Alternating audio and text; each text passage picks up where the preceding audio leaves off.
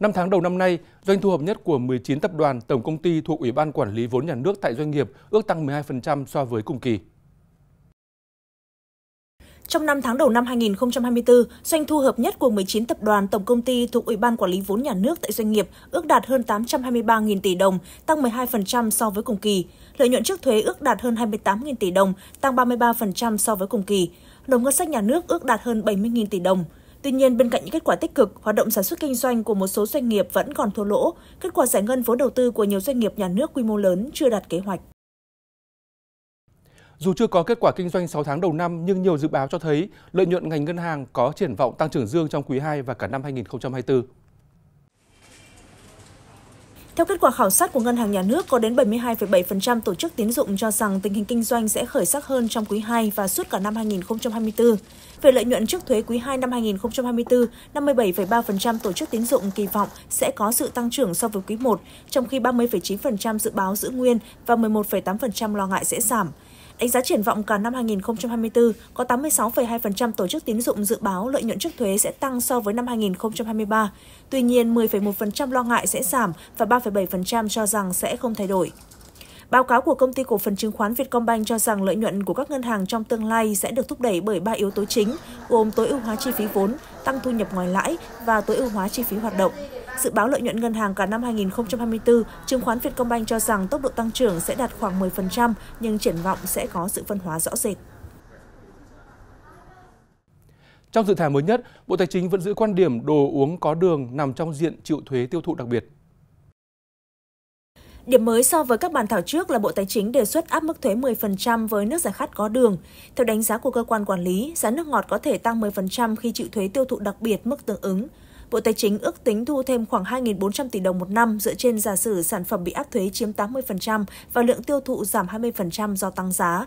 Tuy nhiên, số thu chỉ tăng trong năm đầu tiên áp thuế với mặt hàng này, các năm sau sẽ giảm dần do việc đánh thuế khiến người tiêu dùng dùng ít đi và nhà sản xuất chuyển đổi công thức, sản xuất sản phẩm có hàm lượng đường dưới ngưỡng đánh thuế.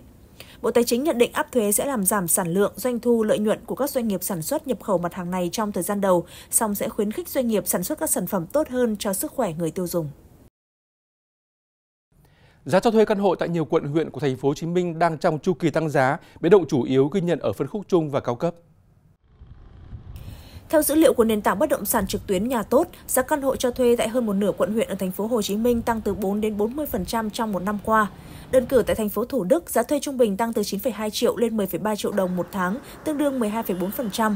Tương tự, mức thuê ở quận 4 Phú Nhuận tăng 17 đến 28% so với giữa năm ngoái, lần lượt 13,5 triệu và 9,6 triệu đồng một tháng. Báo cáo của hãng dịch vụ bất động sản GLL cũng đánh giá thị trường chung cư cho thuê ở thành phố Hồ Chí Minh trong chu kỳ tăng giá. Nguồn cung ít là nguyên nhân khiến phân khúc cho thuê này tăng giá đều đặn. 3 tháng đầu năm, tiền thuê tăng 1,6% theo quý và 5,9% theo năm, đạt trung bình 10 đô la Mỹ mỗi mét vuông một tháng.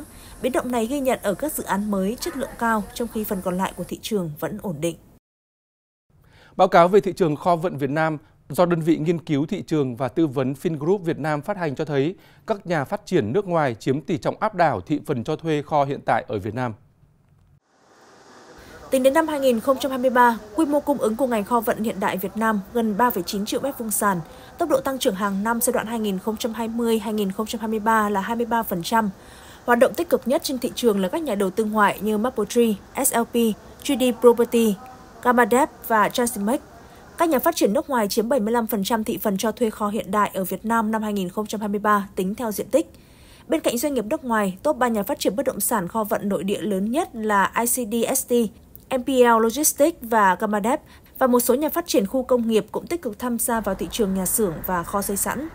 VinGroup ghi nhận sẽ có 25 dự án kho vận được triển khai từ nay đến năm 2027 với tổng diện tích cho thuê thêm là 1,87 triệu mét vuông. Tốc độ tăng trưởng hàng năm của diện tích kho vận hiện đại dự báo duy trì ở mức 7% trong giai đoạn này. Số liệu của Tổng cục Hải quan ghi nhận xuất khẩu cao su sang thị trường Trung Quốc đã giảm mạnh trong tháng 5 vừa qua. Trong 5 tháng đầu năm, Trung Quốc tiếp tục là thị trường xuất khẩu cao su lớn nhất của Việt Nam, chiếm 66,5% tổng khối lượng xuất khẩu với 380.416 tấn, trị giá 547 triệu đô la Mỹ. Tuy nhiên, so với cùng kỳ năm ngoái, xuất khẩu sang thị trường này đã giảm 14% về lượng và giảm 9% về trị giá.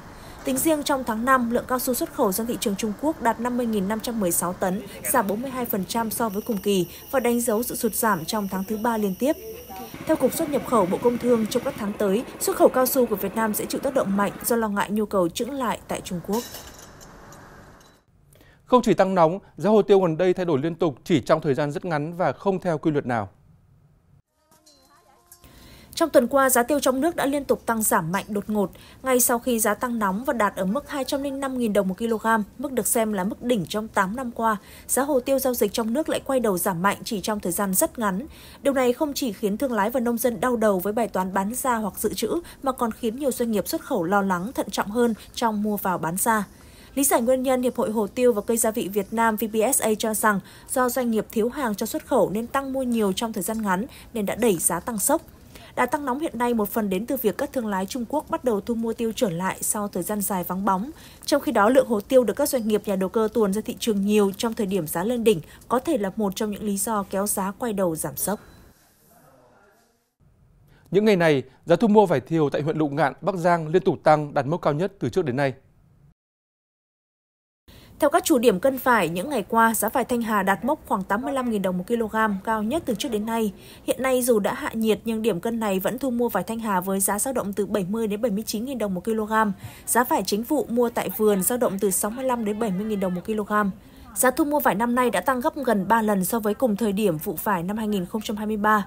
Theo các thương nhân thu mua vải thiều, giá vải tăng là do năm nay sản lượng của lục ngạn thấp, ước đạt khoảng 50.000 tấn, tương ứng khoảng 50% so với mùa vụ năm ngoái.